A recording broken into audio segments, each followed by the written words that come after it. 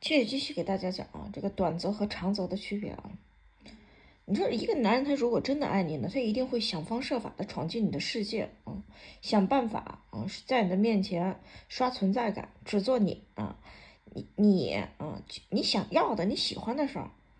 而一个人啊，一个男人他只是偶尔的联系你，告诉你他喜欢你、爱你、想你、夸赞你、恭喜你啊，那么他就想骗你，他只是偶尔联系你。而喜喜欢和爱是非常的，如果他爱你的话，他想和你发展长期关系的话，他肯定要了解你啊，无时不刻的啊，他都要在你的身边围绕。如果他只是偶尔的啊，经常的这个失踪断联啊，这肯定是要玩你的。你看啊，这个很多女人现在我发现，缺姐发现现在年轻的女人居然接受了这个，啊，这个叫什么 “friends with benefit”，就是短则的关系，嗯。但是呢，这个短则嗯会特别扎心。咱们先读一下啊，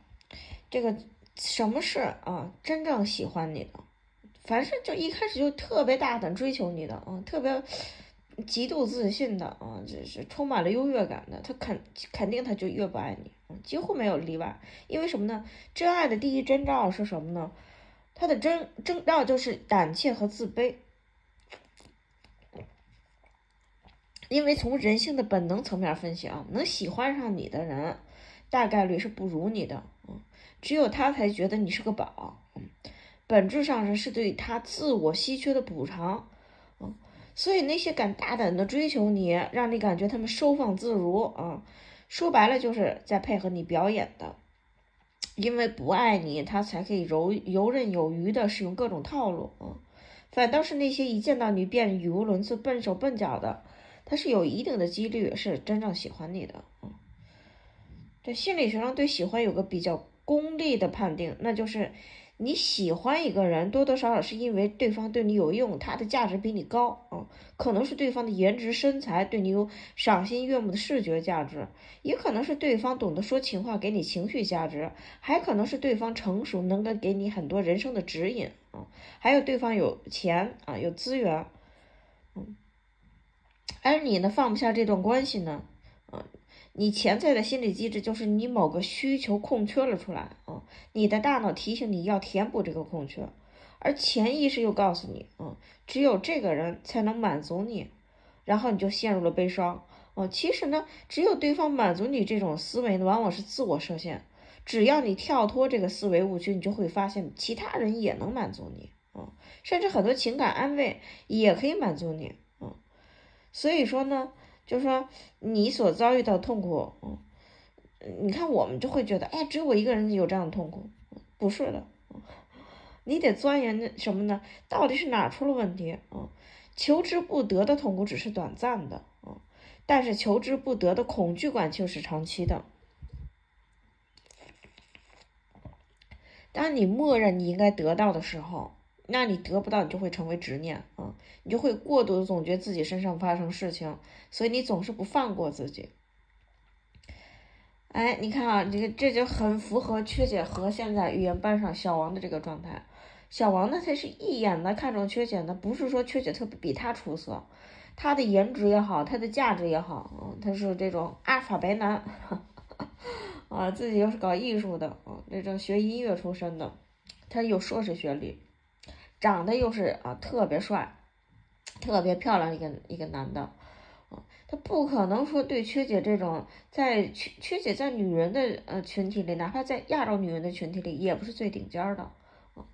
只是长得比较顺眼，啊，他认为可以一举拿下的，所以呢，他呢啊认为缺姐呢肯定就是一下子就被他击穿了芳心，啊，一下子就芳心大乱，一下子就受宠若惊，没想到缺姐是临危不乱，非常的，呃，高傲的把他给拒之门外把他甩甩手就推了，给他推出去了。因为什么？缺姐是已婚妇女是吧？而且我是这么大岁数，他首先他误判了缺姐的年纪，他以为缺姐比他年纪小，他是九一年出生的，因认为缺姐呢多也不可能超过，嗯，超过他的年纪，最多也就是三十岁。他是误判了薛姐年纪。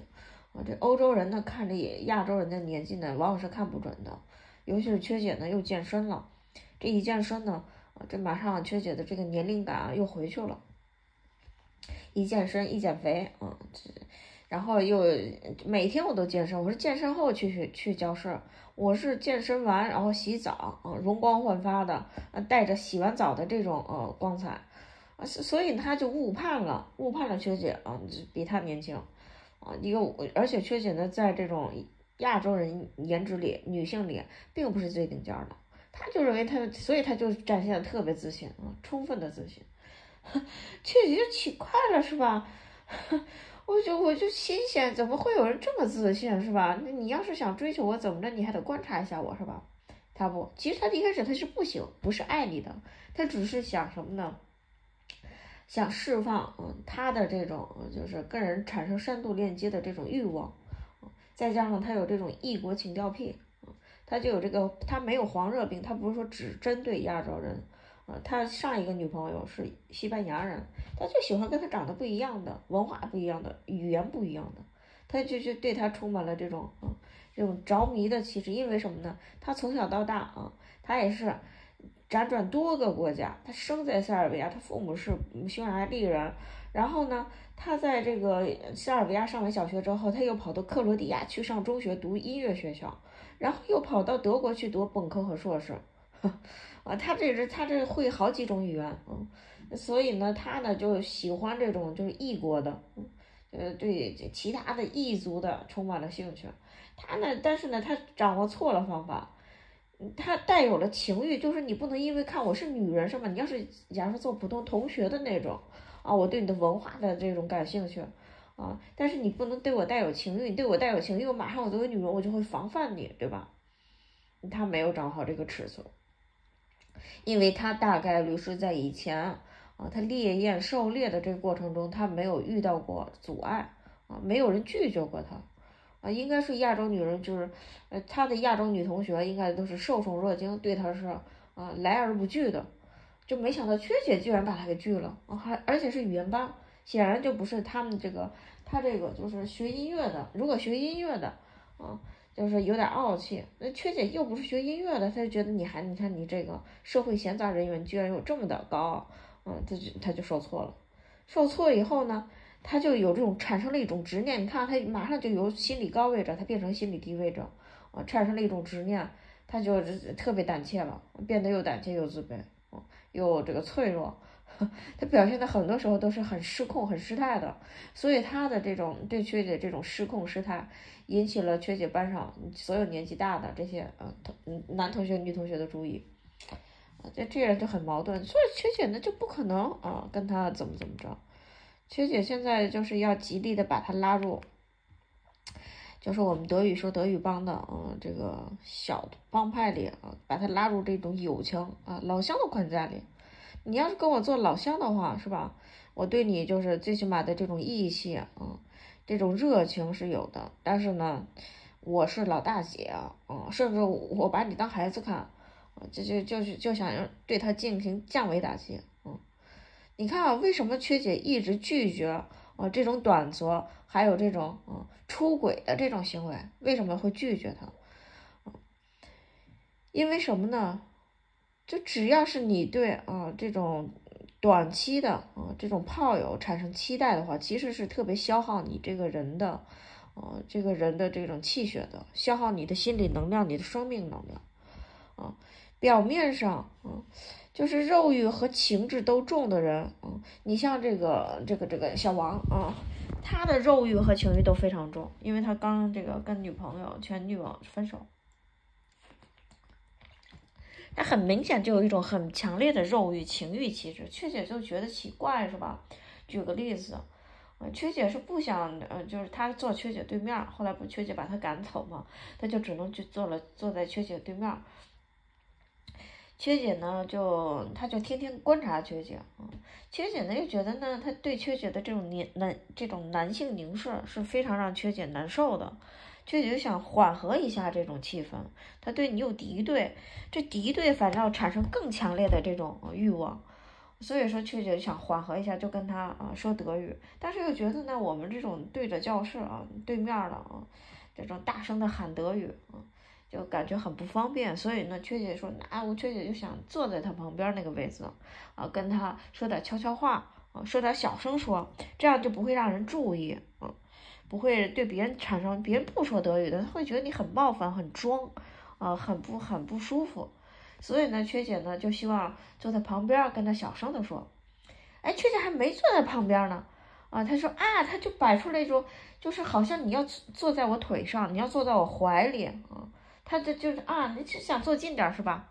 你看他那个那个那个那个说话那口气那个姿态，都是你想坐在他腿上的那姿态，觉觉觉得这是他们有病是吧？我就跟你和普通同学关系，我坐你旁边啊，这这这。男女同学可以说坐的近点儿，这是无所谓的，是吧？不，他就带着这种情欲，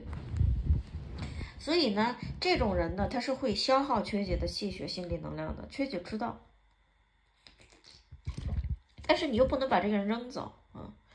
这表面上呢，缺姐没跟这个人谈恋爱啊，也没跟他出轨，没跟他搞破鞋，也甚至都没有搞暧昧。但是这个人呢，就通过注视男性凝视缺姐。啊，通过各种方式吸引了缺姐对他的注意，那缺姐不得不关注他，我不得不去调查他。最后这人太他妈怪了，是吧？我这是多少次没觉明里暗里的拒绝了，他还是不行啊。然后呢，缺姐也会有的时候偶尔的，就是瞟他一眼啊，就是看看他为什么你总看我。我缺姐余光知道他在瞟缺姐，啊，然后缺姐想确认他有没有停止注视缺姐。然后在这一来一往的过程中啊，缺姐和他的这种量子纠缠就建立了，嗯，缺姐消耗了这种气血，消耗了这生心理能量，就想摆脱他的纠缠，啊，得摆脱的纠缠，那缺姐就想了半天，你要完全不理他，排斥他，因为他做各种动作，他在展示他的优越感，嗯，对展示他就是你拒绝我，我不甘心，嗯，我一定要征服你。那那缺姐在很多期视频都说了，她各种小动作，呃，各种的暗示、各明示，听觉，然后他还话里带话，还这种含沙射影，嗯，各种 一语双关，他故故意的说给缺姐听。那缺姐你说能说什么呢？我听着也不舒服，是吧？啊，就显示你人缘好啊，他就还是关注缺姐啊，跟谁交往，不跟谁交往，跟谁现在关系又好了，跟谁关系又不好了。啊，跟谁又嗯组成这个对话的搭子了？跟谁又又散了？你说你观察我这个干嘛呢？这这曲姐就就觉得这个人他妈真讨厌啊！他就占了他所谓的男性魅力，他就把他身边的那个杰克女啊给这个笼络住了。杰克女就一直跟他搭档，一直跟他搭档，跟他还跟他很讲义气，还挺崇拜他。他还拼命的孔雀开屏啊，展示他的这什么音乐才华。说句实话，他这种专业出身的人，真不应该跟这个门外汉来显摆这个，就显得特别轻浮、特别蠢、特别愚蠢。因为什么呢？跟这些音乐的门外汉你来展示这些你的专业素质，首先别人是不能欣赏你，不知道你的专业水平有多高。其次呢，他们对你的关注和赞赏呢和崇拜呢，没有任何实际价值，也不能给他带来任何人脉资源。也不会带来门票收入，他为什么要展示这个呢？他就想向缺姐证明，你看你不欢迎我，你不崇拜我，这么多人都崇拜我，都欢迎我，他是在说给缺姐看，缺姐知道。所以呢，缺姐这么一分析，他又跟呃缺姐这么一想啊，又又他这么引起缺姐的关注，又跟他产生了量子纠缠了。那没办法呀，他就跟缺姐是一个班上的，怎么办呢？所以说，缺姐在想，如果说，嗯，这个老师给缺姐，既然口语不及格，如果说这次我再经过一次补考，如果还是他们那个系语组的，就决定让缺姐过不了，那缺姐就决定，呃，下个学期就不上课了，不去那个学校了，我就在大学的那个网课，我就上网课了，我就不去了，那就不用跟小王纠缠了吗？为什么缺姐不愿意，就死活都不愿意呃有这种短则的关系？你你看这个女网友这么说，说只要你对啊，这个短则的关系就是嗯，friends with benefit，只要你和这种就是什么这个什么利益之间的，这所谓的利益朋友就是短则啊炮友，产生期待就是你的宿命。啊，不少人呢，其实呢，确定这种关系其实是对方有好感的，嗯，比如说欣赏啊，颜值、身材，或者是工作能力、家庭，或者是满意，事事有回应，提供情绪价值，不会被冷暴力，不会被不理解，啊总之你有需要，对方都会在，或许是崇拜啊，对方有什么光环让自己沉迷，比如说小王，他就展示他这种音乐人的这种光环，确实并没有沉迷啊。即使这种关系呢，也是这个男的自己赚到啊，或许是默契啊，大家都需要一个安全、稳定的、愉悦的性关系啊。这种心照不宣里面其实是有着感情基础在的，在产生了生理性愉悦后啊，两个人事后相应的温度和暧昧，总会让某些人忘记这段短则关系存在的缺陷嗯，那就谁先动情谁就不合格啊。不健康的关系就是存在这种缺陷，一旦动感情就会产生占有欲和内耗啊。两个人点着烟，喝着酒啊，这个说着过去和未来，喝一点酒还能含情脉脉的接吻啊，好像吃掉的是啊这个伊甸园里的苹果。当你呢意识到喜欢的这个人和你只能是这个关系之后，啊之前的惊喜、快乐、暧昧、冲动、上头都会变成蜗牛的犄角啊，这个触角。一句话就能让你心痛内耗。你想尝试冷静，却总是被这个人牵引着；你想尝试改变这个呃炮友关系，却得到的是对方的沉默。然后在每一个日夜的这种性的交流和接触里，你不仅喜欢上了人，也产生了依赖。然后不健康的关系带来的快乐会成倍的从你的身体里抽离。你看看，这不就是内耗了吗？为什么雀姐一直？不建议女人搞这种什么什么性解放啊，嗯，是这个什么呀？因为什么呢？你只要选择这种关系，你基本上你作作为这种男权社会里啊，这个女人来说，不管你是不是女权，你都是会嗯吃亏的，这是肯定的。不管是从生理上、心理上，呃，还是从动物、大自然的雌性动物和啊雄性动物本能来说。你都是会吃亏的，你吃亏你就会难受，你就会啊情绪内耗。就不管你当下需求是什么，你想陪伴也好，想要解决你的生理欲望也好，啊，这不管你想不想要，你自以为你自己很能控制情绪，也很能管理啊，啊，但是呢，你只要走入这一段什么都不是的炮友关系，啊。就是连人类交往最基本的原则，那些尊重啊、共情啊、付出啊，一丝一毫都不会有。它看似解决了你当下的这种啊生理需求，但是长远来说呢，甚至都不需要几个月啊，一个月就足以让你在被填满又抽离的反复中搅乱你原本平静的生活啊。然后你原本以为互互为工具人是吧？啊，只有你是在对这种假性亲密的迷恋里一再的交出底牌。啊，失去了你自己的阵地啊！女性就是这样的，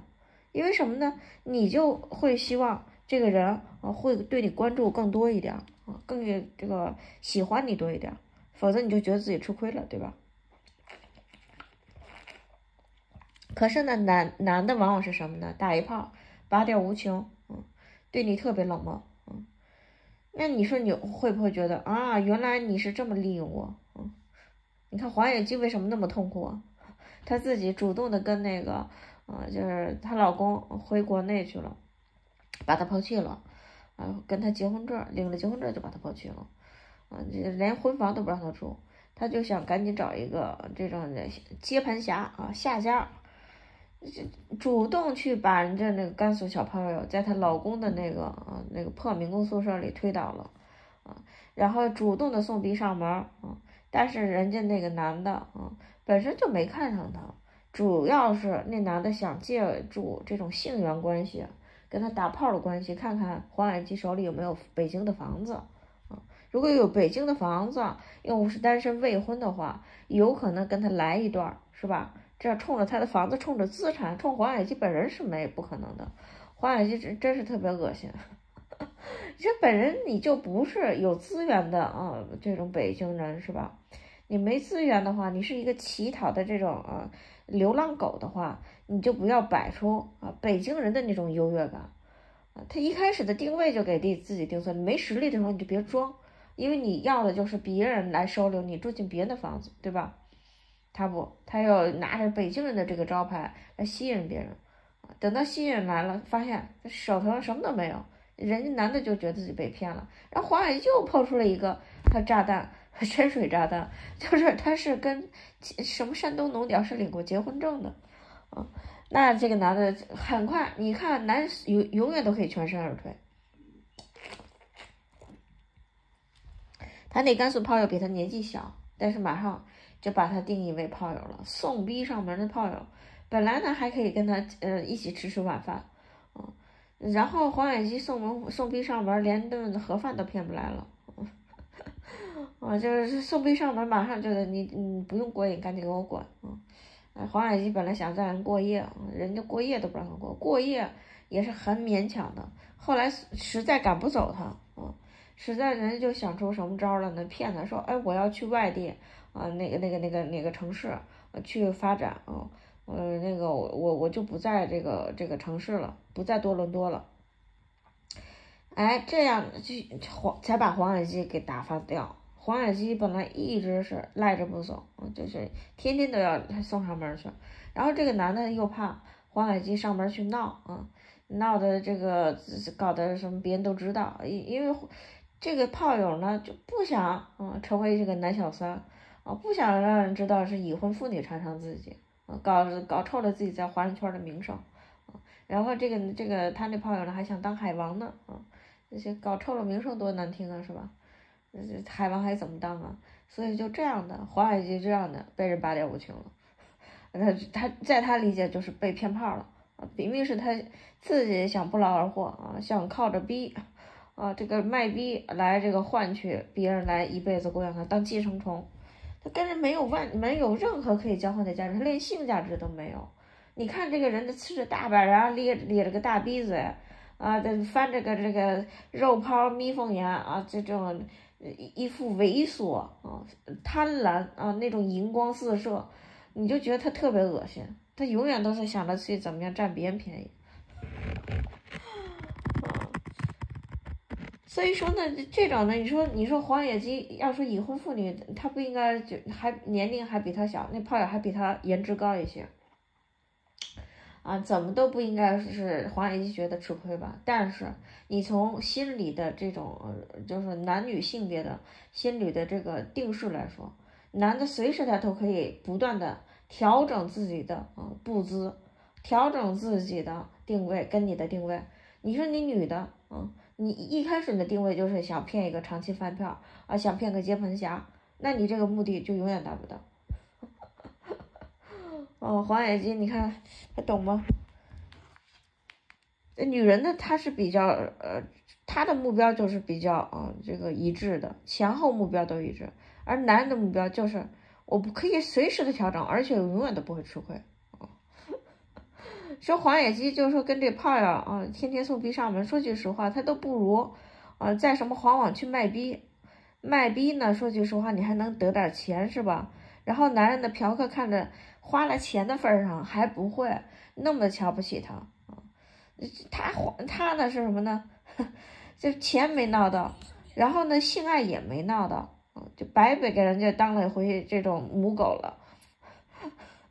这不这不就这不就是吗？人家男人就觉得啊，我既然想玩你，那我我在性爱上都不会给你很好的这个，你你给不会很好的服务你的，不仅不服务你，还让你服务他，还要作践你。你看你到黄网去看看那些嫖客怎么作践妓女的，啊，怎么样呵呼呼呵呵的？你看这一边啊，这他们在产生了这种呃抽插的行为，然后这个嫖客还拿着脚去踹这个妓女的脸，啊。还拿这个这个呃鸡巴就去啊，就是反正就就很肮脏的行为，先捅完肛门再捅嘴，嗯，捅完肛门再捅阴阴道，你他全把人家给给污染了。然后呢，还威胁，因为男人力气大嘛，你在这种私密空间里，你要是违背这个男人命令，这男人有可能虐待你，你就不得不忍气吞声。这个男人就呼呼喝，这嫖客就是这么对待妓女的。这，然后妓女还不敢反抗，还得是迎合人家，说让舔哪舔屁眼就舔屁眼，你看多脏啊！你看，如果说你是跟他是长则关系，甚至是夫妻关系，像黄雅姬跟她老公那种就不叫什么夫妻关系 啊。她老公竟然还把她当母狗来调教呢，来玩 S M 的游戏，只要是跟你玩 S M 的游戏，都是来作践你、凌辱你、把你踩在脚底下的。这黄雅姬还意识不到，他觉得这是我老公爱我，你看看，啊。所以呢，这这这种的，真正说你要想在性爱上能享受，能享受到他服务你，他尊重你，他给你带来安全和稳定、卫生，还得是和你这种有婚姻关系的，最起码的是婚姻关系的。同时呢，还得是他把你真正把你当老婆看，当成相伴一生的人看，他才会给你这样的提供这样的幸福。哪怕你纯粹从生理需要，你都不要跟这种短则，啊。就产生短则，只要是短则，那这个男人就想，那我就没必要付出，我付出我就吃亏，我就要占便宜。所以跟男人，你不管是怎么样，你想奔什么，你就看中他的颜值也好，身材也好，家境也好，或者说给你提供情绪价值也好，最起码你得确定，得引导这个男人要跟你进行长则关系。跟你正式的谈恋爱，光明正大、磊落的，为什么秋姐死活就不搞破鞋呢？因为秋姐就知道这个男人就是奔着占便宜来掠夺别的男人的老婆的目的，他能对你多投入呢？他能对你付出什么呢？啊，什么都舍不得付出，他就想骗会儿炮啊，顶多他是可能啊，出于这种同学关系，或者说啊，半个老乡的德国老乡的关系，他不会性虐待你。可能性服务也会有点性服务啊，这种服务意识会有，但是呢，他肯定精神上他不会付出，金钱上也不会付出，金钱和精神上他都不会付出啊，你一顶多也就跟他温存这么这么一两个小时，几十分钟，给你一点情绪价值啊，然后过后你跟他不联系，他好像就没这回事儿一样，往往你看很多的炮友关系都是这样的。啊，你想让他，你你看很多女的什么呢？哪怕她是约炮的，她都希望这男朋友事后来给她发个信息，代表着想着她。结果男朋友就非常冷漠，嗯，叫人间蒸发一样。除非下一次又有性需要了，哎，又主动联系这女朋友了。那这女朋友想啊，除了你他妈鸡巴痒你才会联系我啊，你鸡巴不痒的时候，你想都想不起我来，嗯，你心里就会有种不甘心、不平衡。这么一拉一扯，这女的她就会产生各种各样的情绪内耗，她就会各种试探，或者甚至是主动付出，让引导啊这个男朋友对她付出，哪怕是情绪价值。你看啊，就是这这种就没必要啊，真没必要。这种模式就是对人的异化和本质的剥削啊，它让你短暂拥有了长期关系才能拥有的东西，但这一切都是表演而已啊。紧接着你就看着，啊，这种，啊，这种海王，这种什么老枪啊，老手，他都在这种啊炮友关系里，没有，他就认为他没有回别人回这个女炮友消息的义务，所以呢，你上桌了是吧？你把腿张开了，啊，然后你就活该接受男人男朋友制定的规则吗？哪怕这个规则完全漠视了你作为女炮友正常的情感需求吗？所以这个游戏一开始就是男人的游戏而已，没有平等，毫无平等可言。嗯，你看这女网友就说：“嗯，我依赖我自己的真实感受，所以我接受自己的愚蠢。我明确知道自己在期待别人给不了，也没能力给的这个情绪价值之后，我选择了嗯结束它。嗯事实就是我无意也无法改变别人，但是我在下桌前发出了一点反抗的声音。”啊。我不祈求有任何回复，下一步就是老娘不玩了而已。但是，都是获得了那些男朋友的好好回应。然后他们的表态就不重要，不回复就你就想想想结束就结束嘛，ending 嘛。嗯，是是，然后呢，对对方都没把你当人，嗯，所以呢，所以呢，就是来进入这种选择炮友关系的女人，其实往往是什么？她是有童年创伤的。你看，你要强迫你自己，嗯，遵守这个男朋友制定的规则，那就和小时候的童年那个无助的你自己没有任何区别。因为手无寸铁，所以你干脆阉割自己，把你自己变成别人喜欢的、不麻烦别人的、不麻烦大人的、懂事的那个好孩子。委屈久了，你慢慢就不觉得委屈了，啊，所以呢，你就会产生内耗。可是你内心又感到痛苦，你看。你你就是别人的别人的工具人，别人的性奴了，别人的母狗了，然后呢，还把你和这个男人啊，这个约炮的啪啪啪的视频，这个男的肯定要录，当成战利品。你看看黄网这个九幺网上，这些男的有多少约炮的男的？除了嫖娼的男的之外，约炮男的是把这个炫耀说这个母狗嗯。怎么怎么，这个荡妇，嗯，然后又说什么，本来嘴上说着爱老公，啊，可是身体啊才扎进去，马上就老实了，啊，本来还是强烈的贞洁烈妇，强烈抵触，一鸡巴一插进，立马就说啊，爸爸我还要，你看他们就这么羞辱女人，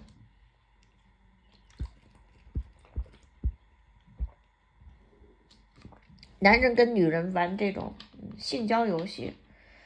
他们并不是很在乎这个生理，嗯，生理上的这种愉悦感。对男人来说，生理愉悦感远不如女人。为什么只有女人在叫床，男人很少叫床？你看，男人有像这个黄网上那女人吭哧吭哧叫唤吗？那谁比较反应激烈？那是女人的生理反应激烈。所以呢，嗯，这男人他更注重的是什么呢？注重就是我心理上，我要征服你，我要占有你，我要穿刺你，啊，然后我要把你踩在脚底下的这种心理快感。他们更需要的是心理上的快感啊，情绪价值是性交行为带给他们啊，男权社会赋予的啊，性交行为带给他们的这种成就感，是男权文化给告诉他们啊，你你透批了你就占便宜了，然后女人的逼被你透了，女人就吃亏了。嗯然后男人再不付出，啊，他在情绪价值又不付出，啊，既没有，然后在性行为上又没有性服务意识，你想想你跟他能有多快乐呢？呵 呵短则行为他肯定不是让让你爽，他是为了他自己爽，他一切都指向了目标，什么目标呢？我跟这个女人是短则，我没必要让她爽，我没必要让她开心，啊，只要老子老子自自己鸡巴先爽了，然后同时呢，啊，我又让这个女人，啊。就是喜欢我啊，让这个女人消耗这女人，让这女人啊对我产生期待啊，这然后我就冷冷的拒绝她，我就是要晾了她，我就要精神折磨她，那我就是心里我的优越感我就比她强了，我就站上这个心理高位了。男人都是这么想的，所以说你说短则关系，不管你是啊找一个情人也好啊，还是说你出轨搞破鞋也好，只要他跟你不认真的。不是认真的、正经的谈恋爱的关系，不是光明正大能谈恋爱的关系，没有一个好的。哪怕是婚外偷情，说我跟这个啊小王啊感情好着呢，啊你看看缺姐的大堂姐搞了十年的破鞋啊，就是她搞过的那个最长一段的破鞋，啊，她自自以为她跟那个情夫啊是是什么老夫老妻，她自己吹啊，可是人家根本就没把她当成老婆看。人就当成啊，寻找这种婚外、这种婚姻内生活的这种乏味的啊，这种一眼望到头的这夫妻生活的这个调味品，然后当成自己成就感，一直对对着他对着大堂姐说，哎，我什么时候把我老婆，咱们要不咱们想点办法把她给毒死吧，给她下点药啊，给她弄死，就就是说给她听，让她心里开心啊。然后其实那人连连婚都舍不得离，嗯，他能为你连婚都舍不得提，他能为你说是毒死他老婆吗？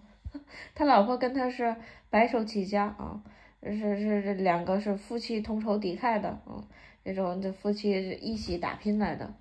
怎么可能为了你这么一个一个一个小三啊，一个一个女的啊？你说结果呢是缺姐大堂姐离婚了，他那个奸夫还没有离婚，你说搞来十年破鞋管什么用？啊，十年破鞋也就给这个奸夫啊，也就给了他十万块，但是给他十万块钱，啊还让他给他办了很多事儿，那什么跑这个跑那事儿，没少没少求这大堂姐给他办事儿去。所以这十万块钱连劳费都不配。哦，这是他们俩互相啊搭进去多少这个这这个礼就是人情往来啊，搭进去多少时间精力，然后结果缺姐大堂姐自己婚姻破裂，老年生活无照。嗯，因为什么你指望着儿子，你跟着儿子不能把儿子啊当成老公吧？最后老来老来是个伴儿，还是你老公能陪着你？嗯，这老公再不好，他至少他有看到长期利益，他会对你有这种啊诚意在。你说这种奸夫能有什么诚意在？啊，就没事儿的，偶尔看看你，啊，呃什么送点礼物，打一炮。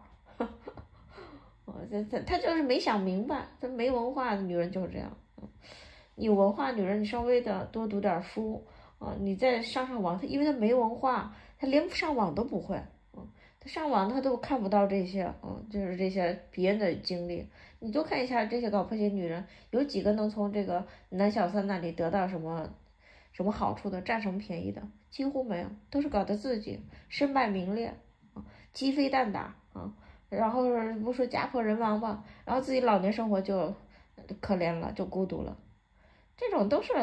都是自己消耗自己。所以说，女人呢，只要不是长期关系，只要不是认真的正八经谈恋爱的，你就不要搞用不着的，你就一身正气啊！你看，确姐一开始我就跟那那小王就很明确的表明了，就是很明确，缺姐对他态度就是一个已婚啊大姐，我对一个小弟弟的一个态度，拒绝你的态度。一个是我年龄比你大很多，啊，更重要的就是我已婚了，就哪怕你不在乎年龄差，因为我的外貌和你差不多，啊，从外表年龄看，